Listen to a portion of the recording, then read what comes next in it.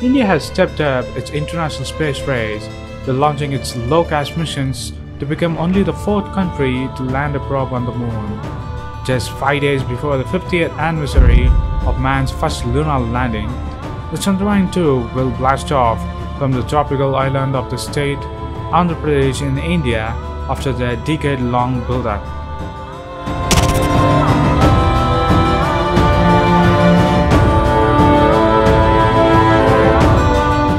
The mission will also highlight how far the space travel has advanced since uh, Neil Armstrong's giant leap for the mankind during the Apollo 11 mission.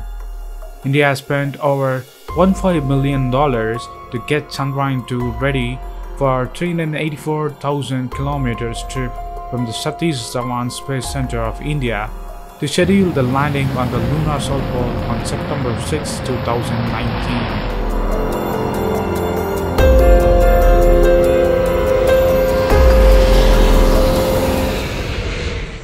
Almost entire Chandrayaan 2's orbiter, lander and rover has been designed and made in India.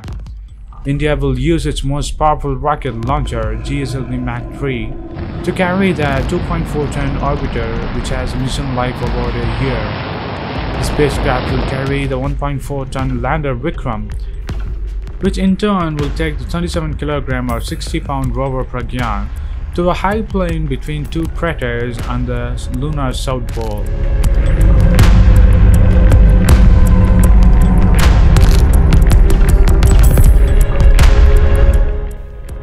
Indian Space Research Organization or the ISRO's chief K. Sivan said, Vikram's 15-minute final descent will be the most terrifying moment as we have never undertaken such a complex mission. Solar powered rover can travel up to 500 meters and is expected to work for one lunar day that is equivalent to 14 Earth days.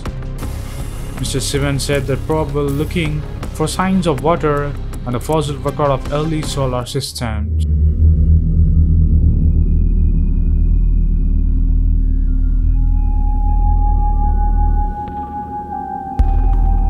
The orbiter payloads will conduct remote sensing observation from 100 kilometers orbit while the lander and the rover payload will perform in situ measurements near the landing site.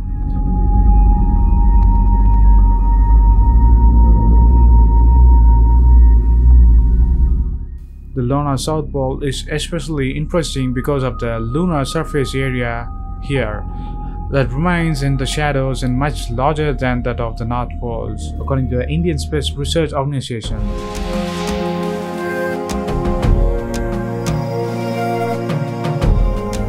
There is a possibility of presence of water in permanently shadowed areas around it.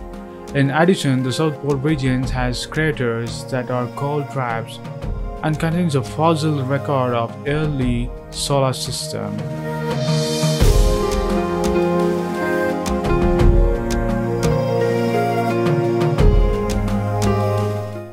What makes Chandrayaan 2 special is that it is the first space mission to conduct a soft landing on the south polar region of the moon. It is also the first Indian expedition to attempt soft landing on the lunar surface with homegrown technology. The other specialty of the missions are that it is the first time to explore the lunar terrain with the homegrown technology of India and India will be the fourth country ever to carry out soft landing on a lunar surface.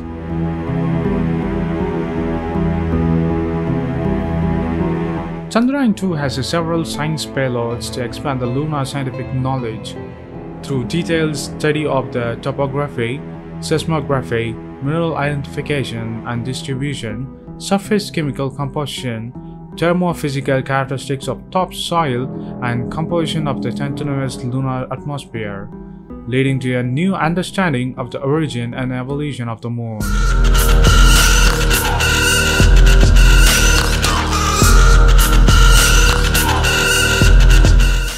The scientific objects of Chandrayaan 2 and the reason for exploring the lunar south pole, ISRO says the moon provides the best linkage to Earth's early history and offers an undistributed historical record of the inner solar system environment.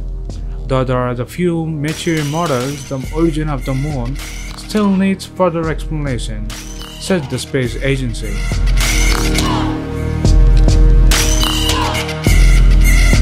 The extensive mapping of the lunar surface to study the variations in lunar surface composition is essential to trace back the origin and the evolution of the moon. The evidence for water molecules discovered by Chandrayaan-1 requires further studies on the extent of water molecules distribution on the surface, below the surface and in the continuous lunar exposure to address the origin of the water on the moon. So what do you think of India successfully launching the GSLV Mark-3 rocket with the payloads of lander, rover, orbiter to the moon which any space agency or any country has never landed on south pole of the moon. Post your comments below and if you like this video please give a thumbs up and follow us on social networks and subscribe to our channel. And thanks for watching. This is WC Daily. Think big, think different. Bye.